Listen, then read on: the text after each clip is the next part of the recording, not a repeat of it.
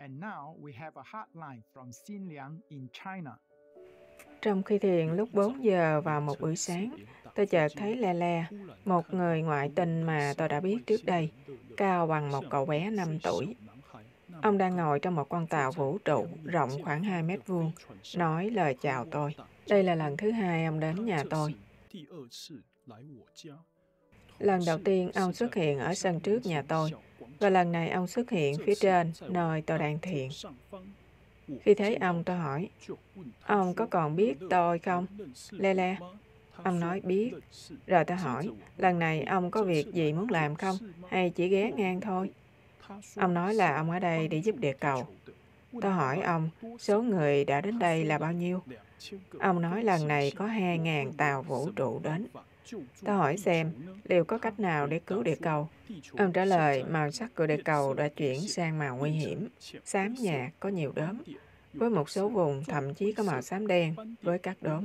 Màu sắc nguyên thủy là xanh lá cây với độ sáng ngời. Tôi hỏi tôi có thể làm gì được cho các ông. Ông nói nếu bạn muốn khôi phục địa cầu về trạng thái ban đầu thì cả thế giới phải ăn thuần chay. Đó là giải pháp duy nhất và tốt nhất. Hãy nhanh chóng lan truyền thông tin trên quy mô rộng lớn và kêu gọi tất cả các phương tiện khả thi mà bạn có. Lần này chúng tôi bay vòng quanh toàn bộ địa cầu mỗi phút một lần. Rắc những chất tựa như hạt nhỏ mà sẽ chuyển sang dạng bột khi đến gần địa cầu để bảo vệ không khí khỏi bị ô nhiễm hơn nữa để các sinh vật có thể có không khí trong lành để hít thở. Bằng cách này, chúng tôi giảm mất thiệt hại do đột biến virus. Nếu không, thì hàng trăm triệu chúng sinh sẽ chết. Tôi hỏi, những gì ông vừa nói có thật không? Ông nói đó là sự thật. Chúng tôi sẽ về nhà sau khi bay vòng quanh địa cầu ba lần. Nhiệm vụ sẽ được hoàn thành trong 3 phút. Tôi hỏi, họ đang ở độ cao cách mặt địa cầu bao nhiêu? Và ông nói từ 10.000 mét đến 30.000 mét.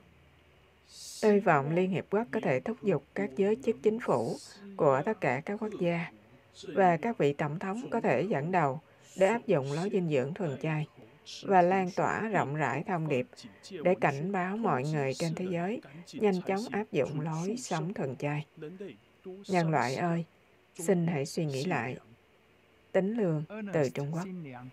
Tính lương tha thiết, chúng tôi thật may mắn biết bao khi có sự hỗ trợ bảo vệ của những chúng sinh đến từ các tình cầu khác. Cảm ơn anh đã kể lại thể nghiệm trong thiền định. Tình thương vô điều kiện và Phật lực của Sư Phụ kính yêu liên tục phát ra để cứu sự sống trên địa cầu được toàn vũ trụ cảm nhận.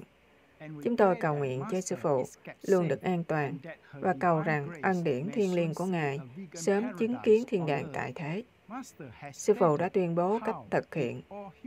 Nếu tất cả nhân loại trở thành thuần chay, yêu thương bây giờ, thì đại dịch biến mất, khí hậu được điều hòa, và hòa bình sẽ hiện diện nơi đây. Nguyện cầu thiên đàng tiếp tục giúp tất cả, bao gồm cả anh và người dân Trung Quốc tốt đẹp, luôn giữ được tâm hồn thuần khiết trong hòa bình thiên đàng. Đội ngũ truyền hành vô thần sư.